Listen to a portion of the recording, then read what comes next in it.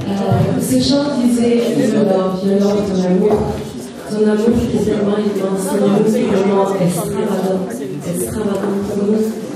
Et euh, c'est cet amour qui nous conduit aujourd'hui euh, là dans ces endroits où on veut vraiment euh, proclamer qui il est pour nous, qui il est aux autres, afin que nous puissions vraiment se réjouir ensemble et, et ceux qui ne connaissent pas le Seigneur, qui ne connaissent pas cet amour-là à euh, vraiment euh, prendre conscience qu'il y a un Dieu qui est là, il y a un Dieu qui est rempli d'amour. Et, euh, et, voilà, c'est pour, pour cette. C'est pour cette raison que nous sommes là ce soir. Et je voudrais prendre deux minutes pour parler de Gospel Union. Donc, nous sommes basés sur Toulouse. Et nous, sommes, nous avons été créés en 2009.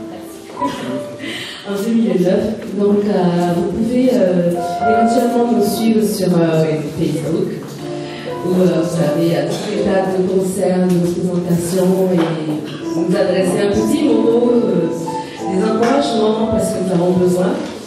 Et, voilà, pour continuer à, à toujours partager ces moments de, de, privilège avec vous et avec d'autres aussi.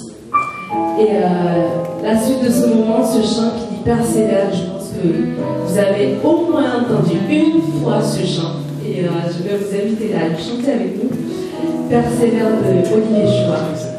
Persévère dans, toutes les situations, euh, euh, dans ce qui nous arrive. Persévère parce que il y a ton Dieu qui est là, il y a notre Dieu qui est là et qui a le bras tellement long qui peut toucher, qui peut accomplir et qui peut réveiller les choses qui sont euh, enfouies.